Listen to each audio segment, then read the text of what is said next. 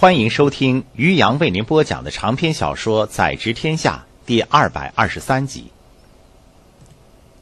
虾无赤躺在草窠子里，脸色蜡黄着，双眼紧闭。他的右臂歪曲成了一个恐怖的角度。正常情况下，胳膊只有一处能弯折的关节，而虾无赤的右手上臂却是向外弯着。捆扎伤口的麻布上。斑斑血渍正在一点一点的扩大，麻布之下还能看到一处尖锐的隆起。如果对外伤稍有了解，便能看得出来，那就是骨折之后穿刺出肌肉所造成的痕迹。这是夏无赤从马背上摔下来之后受的伤，并不是摔伤，而是践踏。他自幼骑在马上，就算落马也能落掉下来，在一瞬间保护好自己。但面对身后冲过来的战马，那就没有办法了。仅是右臂被沉重的马蹄踩上，而不是头部和躯干这等要害，这已经算是佛祖保佑的好运了。但虾无赤无力庆幸这样的好运，右臂受了重创，血在一夜之间流了不少，现在甚至还开始发烧了。虾无赤的身边只剩下十几个人，沉默着，不知该做什么为好。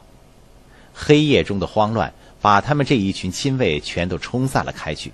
最后只有十几个人护着虾无赤，一直把他拖到了山上。可也就到此为止。虾无赤的伤势使得他们行动不便，而紧追而来的宋人又找来了此地的帆布来搜寻逃散的部众。一名亲兵缩着脖子从灌木丛中向下张望着。这一段时间，他们亲眼看到了十几队护送番军在他们藏身的山坳附近扫过。十几名亲兵都是很后悔，前面一次转移的时候不该落下虾无翅的镶了宝石的头盔。这份物证就像落在了地上的蜜糖，立刻引来了一地蚂蚁。一阵呼叫声从下面的山坡传来，好像是有人发现了他们之前留下的痕迹。更多敌军随之聚之过来，在更大的范围中展开了搜索。见势不妙，留下几人抵挡，两名亲兵抬起虾无翅就向深山里跑去。但是没走多久，他们的脚步就突然停了下来。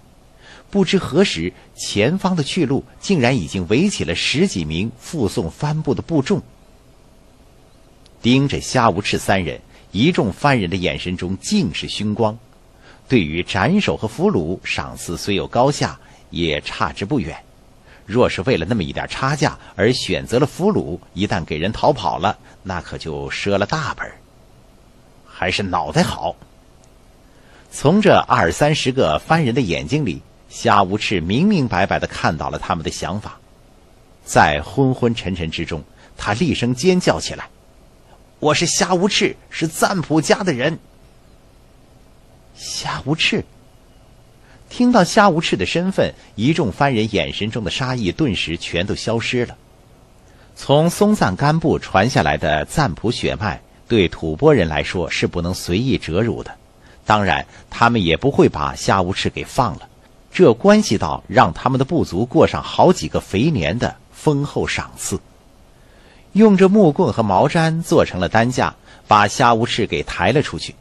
半日之后，生擒虾无赤的消息传到了韩刚的耳中，正在点算斩首数目的帐中官吏都停下了手来，紧接着就是一片欢呼声暴起。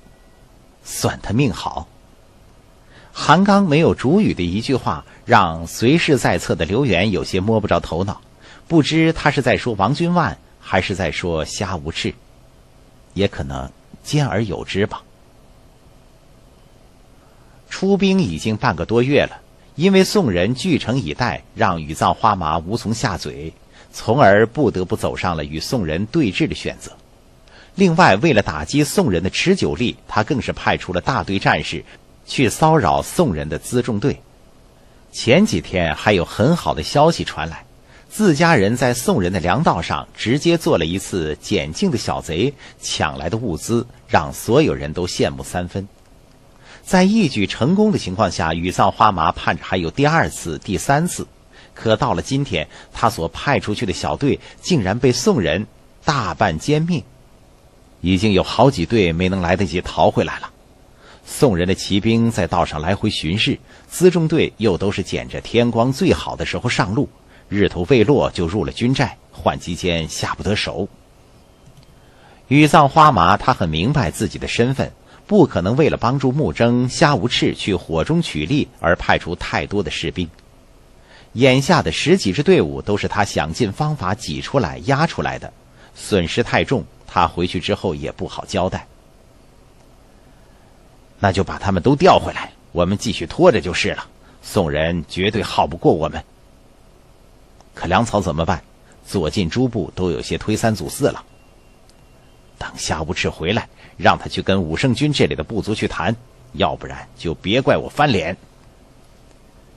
羽藏花马想借着自己手上的兵卒，为自己取得一个合适的报偿，压榨起夏无赤来，他已经是得心应手。不过半日之后，便有哨探匆匆传回话来。有传言说，夏无赤和桀无言争已经打下了魏元宝。什么？魏元宝？羽藏花麻乍闻消息，先是摇头不信，可很快就暗自思忖起来。难怪夏无赤来过一趟之后就不见了，原本去了魏元宝。宋人的旗号呢？他追问着。宋人的旗号都在城头上。好像还多了几面。嗯，羽藏花麻沉吟起来，听起来宋人真的是败了，不得不从临洮撤军。要不要追击？一名部将问着。羽藏花麻思前想后，再等等，等穆征他先动。可一天过去了，穆征那边始终没有动静，而这一天中。宋人已经把斥候游记的巡视范围扩大了一倍，人数增加了不少，使得羽藏花麻派出的哨探很难接近。而有一人传回的消息说，道路上有很多宋军向东而去，也有向西来的。情况看起来已经很明显，城中的宋人的确是在悄悄的潜离临洮，而为了掩饰这一点，王韶正拼命的在外进行伪装。所谓宋军在道上东来西去，自然是障眼法而已。东撤的宋军必然要比西来的多上许多。几个来回之后，临洮宋军就撤光了。但羽藏花麻就像一只狐狸，性格狡诈，为人反复是一桩，而多疑也是他的性格之一。虽然现在探听到了每一条消息都是指向宋人撤军，而羽藏花麻总觉得。哪里不太妥当？又想了一阵，便点起一名可靠的部众，去联络穆征，说我跟他明天一起行动，夹击宋人。信使走了，有人为羽藏花麻的决定而感到不安。花麻，你真的要？嗨，说说而已，又不是真做。羽藏花麻背信弃义的回答，毫无半点愧色。到了第二天，预定的时间已经过了。可穆征并没有强渡桃水，而羽藏花麻自是从一开始就没有半点南下的意思，两边的战线依然静悄悄。穆征为什么不来？羽藏花麻疑惑地问着，全然没有想到自己也是选择了观望。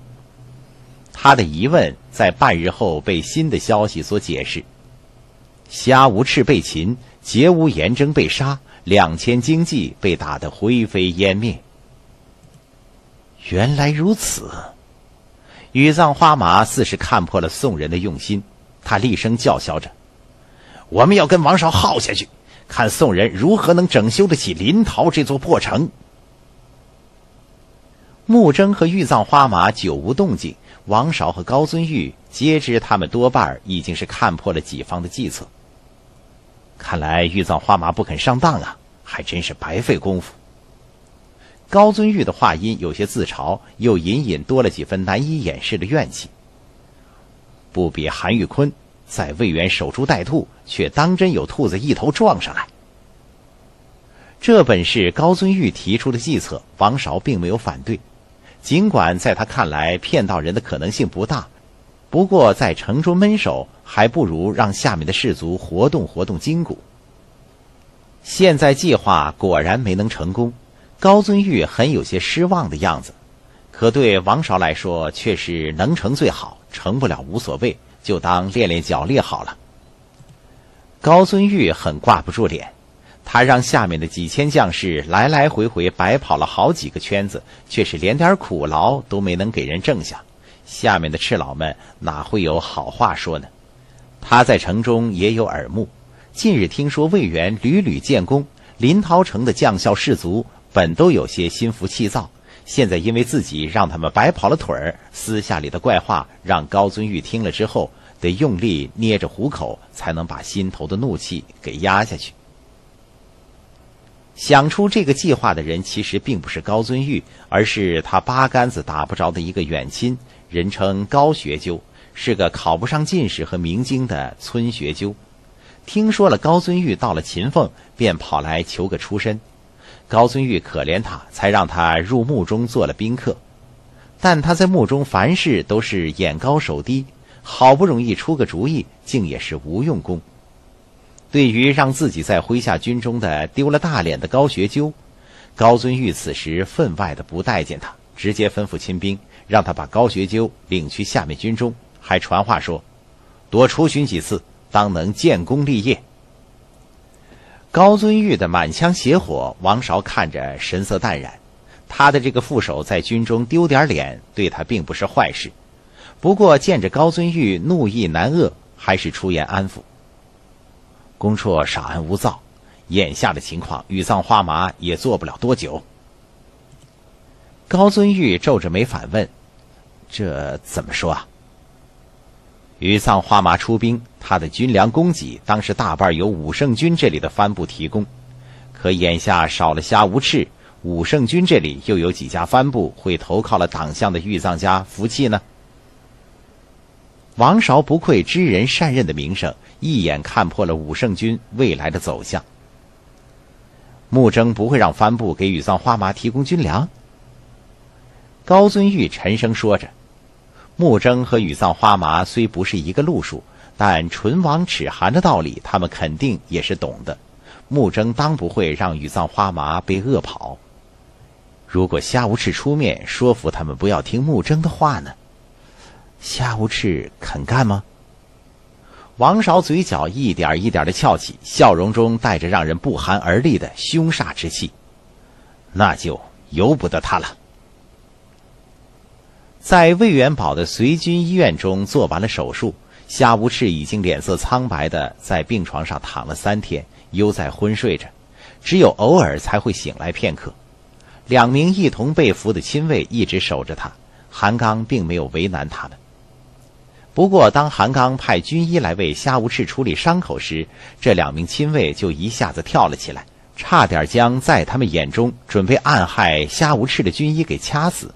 直到听到了韩刚之名之后，方才坐到了边上。夏无赤被踩断的右臂已经消失无踪，只有一圈圈被捆绑的绷带和浓烈的药味儿如果打开绷带，可以看到创口是直接用火烙过。创面上一片炭黑，这是如今最好的解决截肢创口溃烂的手段。粉碎性骨折不是在这个时代的外科医生能够治疗的，即便在后世，当上臂臂骨被踩成碎片，又拖延了一天的时间，医生能为患者做的多半也只剩截肢了。以虾无赤的伤势能保住性命已经是万幸。韩刚说他运气，那是半点没错。眼下只要夏无赤再继续能撑过未来的几天时间，他的小命多半就算保住了。另一个好运的王君万仍在率领已经增加到两千上下的番人，在山野间搜寻残敌的踪迹。他虽说是捡了刘元的便宜，但一个活生生的虾无赤就能抵得过任何人的战功。将虾无赤送来的那一部番人，韩刚直接就从库中搬了两百匹丝绢，提前赏给了他们。当汇集在营中的几家帆部看到了这十几名番人的战马全都被高高堆起的丝绢沉甸甸的压着的时候，所有的人都疯狂了，立刻向韩刚请命，准备杀入山野之中，漫山遍野的去搜寻剩下的敌军。榜样的力量是无穷的。韩刚几乎可以肯定，很快就会有越来越多的藩人和首级送到他的面前。在夺下了林兆城之后，已经过去了近十天的时间。从秦州征调起来的第一批民夫，现在都已经上路，很快就会抵达魏源，继而向西为修筑城池而努力。而回到陇西城中的王中正也通知说，他已经把蔡蒙逼着过来了。这样的情况下，虾无赤的苏醒便并没有带来太大的问题，韩刚也不是很关心。可是因为王绍紧急传令，让他依此而为。让韩刚在夏无池再一次醒来的时候，来到他的床前。夏无赤听到有人叫着自己的名字，夏无赤目光仍然涣散，视线的焦点过了很长的一段时间，才落到了韩刚的脸上。一见床前之人的相貌装束，他双瞳一下子收紧。你是？韩刚居高临下，韩刚。雪片儿纷纷扬扬的从天空中洒落，倾吐着白色的雾气。韩刚搓了搓手，抬头看着天空。阴沉沉的天穹是一望无垠的素寡的浅灰，死寂空旷，只有一片片白色雪花覆盖起来的山野，给了暗色调的天地增添了一些亮色。这是这个冬天的第四场雪。在韩刚如今每天记录的日记中，他经历的前三场雪都是细小的雪珠，下了半日便停了下来。只有今天从晨起时便下起的雪，才算是第一场真正意义上对农情有用的降水。这一场在十月初降下的大雪，对于农耕工作算是一个不错的兆头。如果这场雪是个先导，后面的两三个月继续有雪降下。明年的收获应当不会太差。前两天从陇西县传来的一个还算是不错的好消息，在他的父亲韩千六和一众主管屯田事务的官吏主持下，眼下的战事并没有影响到通远军今年的开垦和播种，但比起去年只增加了一成的田亩数量，对于刚刚开始一年的开荒屯田的工作来说，不得不说是一个挫折。但韩刚现在没空在意这些。从秦州来的第一批民夫，总计两千八百多人，已经在今天的晚些时候抵达了魏元宝。又是在冬天接待民夫。去年在罗务时，韩刚已经积累了不少管理经验。眼下他的手下又有不少能力出色的吏员，而在魏源的随军医院院中，还有十几个精于治疗冻伤和外伤的人才。这让韩刚处理起会让一般官员叫苦不迭的工作来，如同吃饭喝水一般的轻松简单。有分叫“天子垂衣裳而天下治”，韩刚现在也是抱着胳膊就能把几千民夫都安顿好。多了三千民夫，营寨之中一下子变得熙熙攘攘。这些从秦州各县被征发起来的壮丁，行走在寒冬腊月的风雪中。大部分人都已经被冻得瑟瑟发抖，走路时尚不觉得，可眼下一停下脚步，顿时都变得脸青唇白。如果这样受冻挨饿的情况持续下去，必然是接踵而至的一场传遍营中的大病。还好韩刚早有准备，一切都事先有所规划，有条不紊地进行。